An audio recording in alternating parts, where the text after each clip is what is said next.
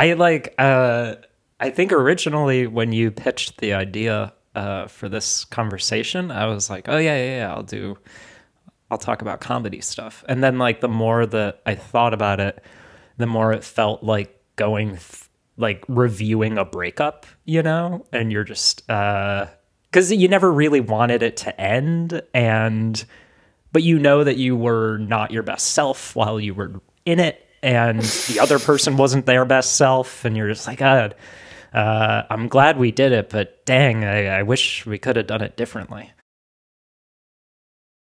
And so it felt it felt more sad than uh, exciting you know? Um, so i was thinking of i was like what else uh, did i do uh, during that period of time. And I realized uh, that I had completely forgotten about a brief career as a free music critic. Um, and I figured that might be fun to kind of dig into. Wait, what are you saying right now? You just walked up to people and be like, "Hey, this is what I thought about your set. Let me give you some notes."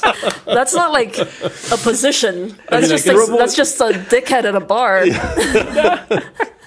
no, no, like um uh I there's a there was a publication uh in Chicago like an or like it's hard to like categorize these things because they are just blogs um but they have editors and and shit like that and so it's a little less um it feels bigger time than it actually is. Uh and you don't get paid for any of it. And so there was one in Chicago called PopMatters, uh, and then my my best friend from high school also had uh, one called Surviving the Golden Age, and uh, I would just write reviews of albums and do interviews uh, for zero dollars. Um, but like it was I don't know. It was like a weird. It's like a weird view into like the machinations of the music industry, uh, because I'm like still on these mailing lists of like distro, you know, like labels are like, oh yeah, uh, we got the new album coming out. Uh, give it a download here. You know, listen to it, write about it. And it's Are these people from the 1930s? they're all just old timey people. Yeah. Listen here. the new wax cylinders are dropping. You know? So yeah, it's like uh, this weird like I'm not qualified to actually be writing about this, and you're giving me this album for free because you just want someone to write about it, uh, and you're not necessarily like there's no discerning taste uh, involved on either side really because I I would uh, review things that I normally wouldn't be listening to, and then uh, trying to like form opinions about these things uh, that I didn't know anything about. Uh, which, when you're doing that in a conversation, you can kind of like skate by, and uh, generally, someone will say something that is true about a topic, and then you can kind of just be like, "Yeah, uh-huh. uh and it's like, "Yeah, we both saw that movie, right?" Like, uh, I think um, Neil Postman calls this opinionating. Mm-hmm. Like you've never thought about it before, and here you are. You've been given this moment, and you're like, "Oh shit! No, what do I think about it?" yeah, Okay, Yeah. I put it down. It goes Yeah. down somewhere. That's a hundred percent what it was. Uh, I like. Uh, there was this one. Uh, uh, it was funny. Brian recently sent me uh, a Stereolab playlist from NTS, and he was uh, he was like, "Yeah, you know, Stereolab's fucking great," and I was like, "Oh, I have never listened to these folks ever in my life," uh, and I was listening to it, and I was like, "Holy shit!" Like, I am really into this. And then I looked up the band and I realized uh, that uh, I had written a review of one of their like solo albums. And I went back to the review and I was like, what the fuck did I possibly like? I had no clue who this person was or what their music was historically about. Uh, and I read the review and it was like, I was positing this fucking expertise, and I was like, as real fans know, you know, and it's just like, are you fucking? So do you have these on a file somewhere? Did you like just Google the album in your name, or like how did you remember that you had reviewed that specifically or that band? Uh, I just yeah looked up PopMatters, Dan Derks, and then um, Stereolab and I found the As the as an a bit aside, uh, or like, are you now in like a kind of semi-alcoholic relationship with the world, where like if you meet someone, you kind of have to do a, a set of activities to find if you've wronged them in the past.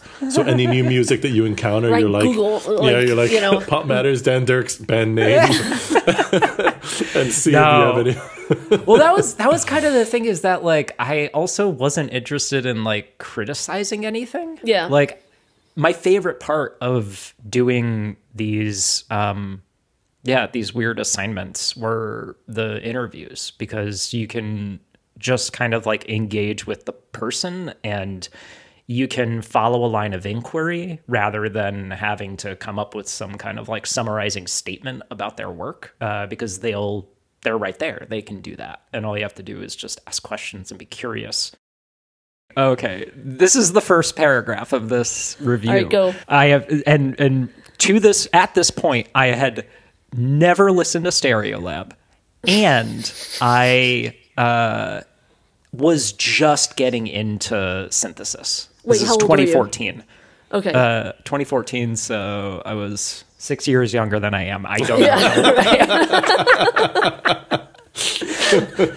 right It was a simpler time back then, you know. Yeah. yeah, totally yeah, yeah, yeah, yeah. I was 27. So this is right before Saturn returned, right? Um, cool. Stereolab has a definitive place in the landscape of modern music. They spawned the indie electronic movement that caught on stateside in the aughts and has come to shape our current popular culture. Analog synths are now casually mentioned in car commercials. The Arcade Fire won a Grammy. LCD Soundsystems sold out Madison Square Garden. Hell, Jens Lekman sold us an Amazon Kindle. The history writes itself. And Laetitia Sadier, I don't know how to pronounce her name, the authorial voice of Stereolab, is deeply entrenched in the citations. Wow. Like this this is fucking bullshit. Right? I mean, like Well, but it sounds to me like uh, you're getting caught up in maybe not even like a bad way. I don't want to like poo poo it too much. I see some positive in it. You're getting caught up in like this, um, the sound of someone else's writing. This voice is like uh, Hunter S. Thompson voice or something. I don't know, like It the repetitions. probably- yeah, something yeah, like yeah, that. Yeah, yeah.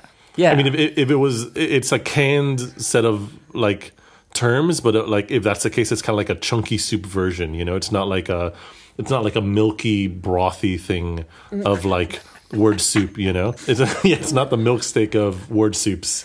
It's got some, it's got some uh, jelly beans in it. You know,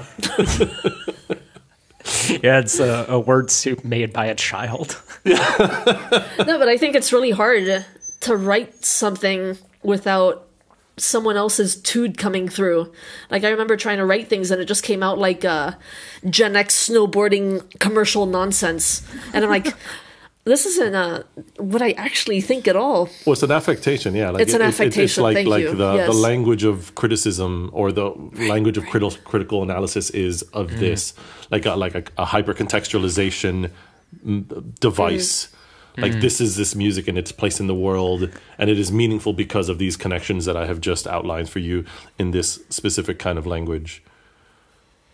I do kind of wonder what the like what is the motivation? Because I, I don't think I came out of this better understanding why you write about music, you know? Wait, whose motivation? Your motivation? Yeah, yeah. Like the the motivation of the of the curator, I guess, right? Because like at best case scenario, you're curating the experience of listening to someone else's Oh, curation mm-hmm. of their experience. Mm-hmm. You know? Um but you're right that there's this there is like a way of talking and a way of writing that is in this like yeah art criticism or analysis thing. No, but you were doing it in, in quite a cool way because you uh, mentioned car commercials. You know, Oh, and that's that's the cool part of it that. is. It is because you throw in a little bit of like a thing that doesn't matter, or like Alright. a, a bit of not pop culture, but like it's permeated down to this. You know, Yeah, down sure. to even this. I don't know. It was like there was Well, a pizza or some fries, and it's like, oh damn, I didn't know we were doing all that. You know, is that what you mean? You don't know what I mean. No, I, No, I, I don't. All right. Thank you for clarifying. Yeah. So, does it hold up? Uh, Oh, like upon like upon like a contemporary No, listening that's to not the question. Okay, let's ask another question. I'm gonna. well, I'm no, gonna cut no, all no. But I am kind of interested in like, but that that is kind of the thing that I'm trying to chase down here, which is like, does it hold up? And I I don't know why I did it in the first place. Like, I don't know the thing that could possibly hold up. Like when I when I like look at this, it really it sounds like something I did and then I had a I went through a coma and then I came out changed, you know? And I'm just like learning about my past life and like opening boxes in the attic and I'm like I had kids, you know. There's a part in a Scanner Darkly because uh, you know a spoiler, but the book's pretty old now. But um, where he's movie. And the movie, yes, but he's an agent and he's spying on his own house, so he has to watch videotapes of his own house. And as he, he walks towards his house to become um, Arctor again, this uh, non, no, uh, this agent without any identifying features, marks, names, or anything. Um, he's walking towards his house, and as he becomes Arctor, he starts thinking things like this, and it's it's the uh, titular line comes from from this one like internal monologue where he's switching between these two roles, and he's like you know, I wonder, I wonder who he is. I wonder what he does in his spare time. What what's he doing when I'm not watching him? You know, things like this. And his brain is so fried from drugs that Yeah. it's a it's a believable transition. He's speaking about someone else, and then very slowly the language turns into first person. He's like, I, you know, speaking from Arthur's point of view, talking about um, where he just came from, and like moves into this other life. It reminded me of that right away. You're like, I wonder what his motivations are. You know, if only if only we can get into the mind of Dan Derks. I don't know. It's impossible. Well, like, don't you guys? I mean, do don't you have like artifacts from a time that maybe you weren't as like, or at the very least, like from a consciousness that you don't currently occupy, and Yep. you're just like, oh, this was part of me. Uh, forgot shit. Yeah. Yeah, yeah, absolutely. I mean, it, it, there's a lot of. I mean, I guess it, if you're kind of engaging and always kind of asking questions and sort of doing stuff, like you're in a kind of permanent state of change, you know. So like anything, you know, a year, two years old, kind of feels at a certain aesthetic distance at minimum. But I think with with a certain amount of that, there's in addition to or instead of the aesthetic distance, there is that reflects an underlying conceptual distance or or like a an embodiment distance like that person isn't me anymore in terms of who would have made these aesthetic artifacts yeah. so i kind of feel like there's like um some sort of like ramp of that that like it kind of gradiates away that way i don't know if you find the same Yeah. Um, that might be a good argument for just making stuff anyway.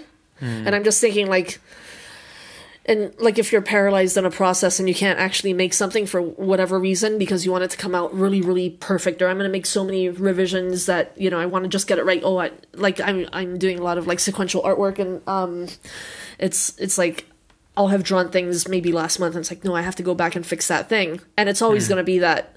And as I'm drawing like a mark won't come out well.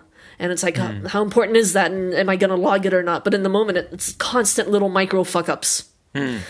um, so yeah anyway this is an argument for maybe ignoring that part of your critical brain because it's not going to be the best thing you've made later. So if that's what you're hmm. wanting to do just get past that. That's not even possible like you're not going to appreciate this for all time like you're going to look at this and be like oh yeah no it was cool for then and then what you're doing now um, I found to be the case, it's going to be much better. Like, or you're going to like it more. Yeah, I was uh, talking with uh, Tyler Etters about that kind of like recency bias. Uh, that like the the last thing that you've worked on is the best thing that you've done, uh, or you know, rather than something you've done in the past. Which I, yeah, I like that idea of framing the moments of current paralysis to just be like, you literally will look at this in a year and a half and be like, I made that. Oh shit, I didn't. I forgot. And yeah. the the the exercising that muscle of struggling with your own either like your own internal critic or your taste or your uh, you know anything deeper than that your your value and the things that you ascribe to being able to pull off art you know uh, are are really meaningless because they aren't going to be the things like uh, uh, uh, meeting those things where they ask you to meet them won't make the thing more memorable. That's true. Yeah i came um I came to some of these kind of realizations during a year where I was like making everything that I hated. And so I wouldn't make very much at all. Um, mm-hmm. But within it, I was like uh, listening to other artists speak about their work. And um, I'm like, okay, so these three things are actually separate from one another. One is how um, you feel about the work. Like, so if someone speaks very highly of what they're doing or not, is completely separate from the quality, quote unquote, whatever that means in art. It's like totally different. You might hear someone um like go on and on and they think very highly of what they're doing and it's like, "Oh, this?" Like I've had that experience a lot. Mm. Which is then again separate from uh a promotional aspect to it. Like that's a third thing but separate and not part of this conversation at the moment. Yeah, I guess like I'm curious too is that the point when something becomes shit that sucks, right? Like is is that the point that you are transitioning what your deal is? I don't think I can imagine anyone when they're like living something that they're passionate about and that they're creative in, uh, and people give that up though. They just stop doing it. Uh, and I don't know what that breakpoint is, or like where does the persistence or the um, resilience kind of like just drop off, and you're just like, eh, I'm not interested in this anymore, or interested in struggling with it anymore. Well, I can answer that for myself. It sounds like that's a question Dan Derks should be asking Dan Derks. no, I want. I'm just curious about you guys. I mean, and you talking about this now, like it's interesting hearing some of the language in terms of framing the the now of what we're doing or not doing now as it's relevant to the past or our future selves, as in like it's some measure of goodness or quality or whatever if what I'm doing now will be somehow meaningful to the me of a year or two years or whatever mm. from now. Whereas that, I mean, for one, that person's a different person, generally speaking, but the the metric that we apply to that is it like will it hold up? Will will i care about this later? Well i'll tell you what if that's the thing that's stopping you from making the thing this is this is the conversation to have with with yourself. Oh you're worried about it not being perfect? Go ahead and make the thing. Yeah, yeah i mean well uh, yeah. Yeah. No go on no. but I mean, I guess it's, it's a sort of banal thing to add to that. But I, I, guess not all production of work or not all creative work feels good, and like mm-hmm. intrinsically so. Like you could be working with for like at a at a simple level, like a very difficult subject in which it's not going to feel good to engage with that. That's a super banal one. But like there might be stuff that like you might still struggle through independently of the kind of material that it's working with, but it can. No, but the kind of thing I'm describing is like reading in a dream Yeah. Yeah. yeah you know? Yeah. Yeah. yeah, Like, what am I, I doing?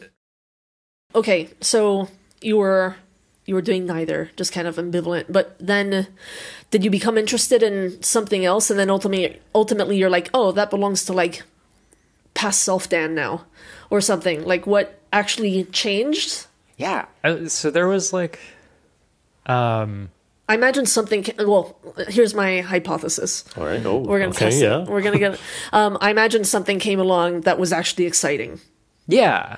Well, that I think that that's where um, the music kind of stuff was kind of working on me. Um, I, but not the like weird, like uh, speculative journalism. Um, but the the part of that that I really did love doing the interviews, I think that that became the like shiny thing um, in in life, and uh, yeah, I think just exploring music and trying to translate what I had learned about improvisation in a comedy context uh, into one without words and references, uh, and honestly, one without other people. Is it insignificant that a lot of what you do, I guess, musically now tends to be solo?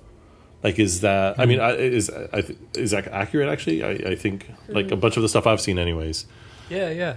Um, yeah, no, I mean, well, no, I, I work with um, my friend Zach, who has the Zilchmos uh, Yeah. company. Um, uh, he and I have improvised together um, for years, but we just never commit anything. Like we did, uh, we scored um, a one-person show at the Annoyance, uh, and we that's that's where I used Block Party uh, and kind of like figured out what I really love about um, incorporating electronics into an improvisational practice. Like we just did eight weeks of uh, an hour-long set underneath this bonkers ass show. Um, yeah, yeah. So yeah, no, yeah. So you were wrong. Yeah, yeah, no, that's- but Yeah. but we don't commit. gluten-free? Your hypothesis was wrong. You, you, you're the one that was dropping hypotheses. And I was right. Were you? Yeah. Yeah. Uh, I don't know. Published. Conclusion. Confirmed. Confirmed. Confirmed. yeah. Uh, Yeah, okay. That's it. What is it? Yeah. Shit, that sucks. No, no, actually, I, I did have one more question. Um, was your getting into the the free music criticism, which is still a funny thing to say, um, was that uh, if you can get into the brain of a dog, I mean, if you can get into your former self's brain, Yeah. was part of it also like you do this because eventually this is going to lead somewhere like like it's this is this is the grind.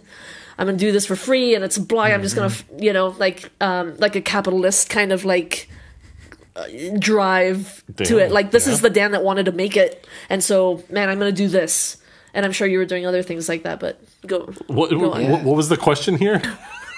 no, I get the question.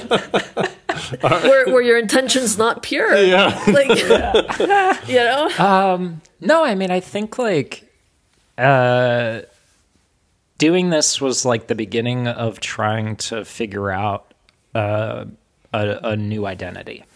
Um, And it was, uh, I think like I originally thought like, yes, I kind of like was interested in doing some kind of um music exploration you know? Like i wanted like i wanted to capture something uh, and i thought that this was a good way to start capturing it. Um, and like honestly yeah like the the thing that attracted me most to it was like the idea that i could oh no an ad is playing oh my god why is an ad playing that was so What is, an ad, disruptive what is an ad playing on? I had the I had the site up. Oh, okay. I was like, man, I've not Uh, used Ableton in a while, but like, it just. There's like new stories added to it as well. Like,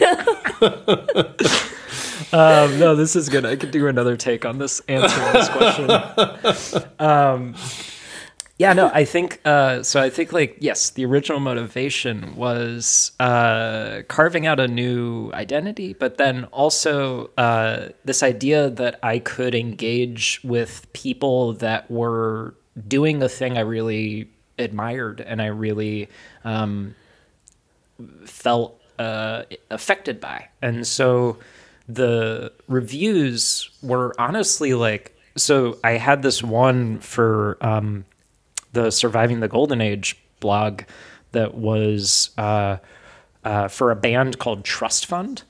Um, and I wrote this review and I was like, Adam, I want to give this uh, 10 out of 10.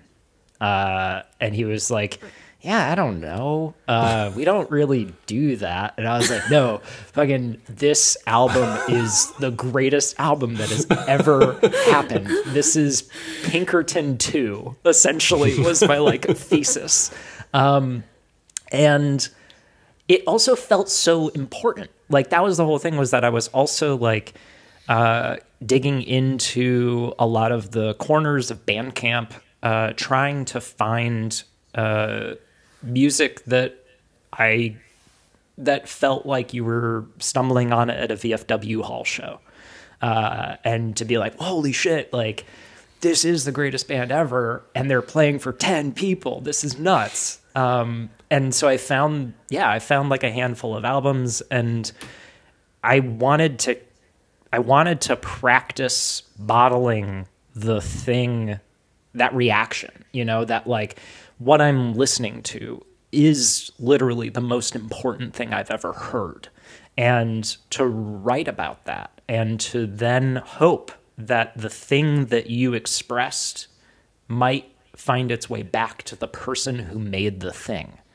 Uh, that was like ultimately the intoxicating idea uh, and the intoxicating motivation. It was like wanting to be seen in in a way that's a bit more direct um, because when you listen to like when you listen to something that somebody puts words to the exact way that you feel and the way that the chords are structured carry that into the part of you that like past all of your defenses and past all of your stubbornness to hear this truth about yourself.